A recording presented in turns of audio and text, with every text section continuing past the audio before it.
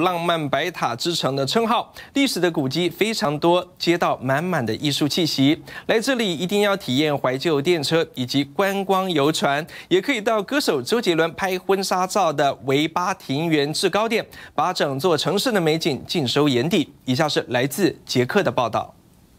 我就站在布拉格黄昏的广场，蔡依林这首歌曲让更多台湾民众知道了布拉格广场究竟这座城市有什么样的魅力，带您一探究竟。Let's go。被誉为欧洲最美城市之一的捷克首都，街道景色一秒置身童话故事。历史中心分为四小区，位在城堡区的布拉格城堡是全世界规模最大城堡建筑群落，能一次看足哥德、巴洛克等各种风格建筑。捷克总统也在这里办公。布拉格是一个很美丽的一个城市，有很多的这种呃人文古迹。一定要体验的有车龄近百年第一代的怀旧轻轨电车，在夏季限定，只在周六周日国。定假日运行，可以轻松游览整座城市风光。全票三百克朗，儿童敬老票两百克朗。另外，一定还要体验的还有搭乘观光游船，在博尔塔瓦河上吃着把费，独特视角欣赏沿岸美景。另外，想将整座城市尽收眼底，则要到这里，走上维巴庭园的制高点，阳光洒落红瓦屋顶，这里也是鸟瞰整座城市的绝佳地点。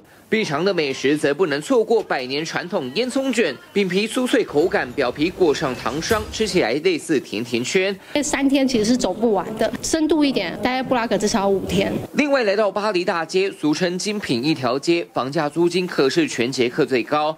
布拉格四季都适合旅游，白塔之城的风采值得旅客好好探索。记者张佑慈、杨宗彦，捷克报道。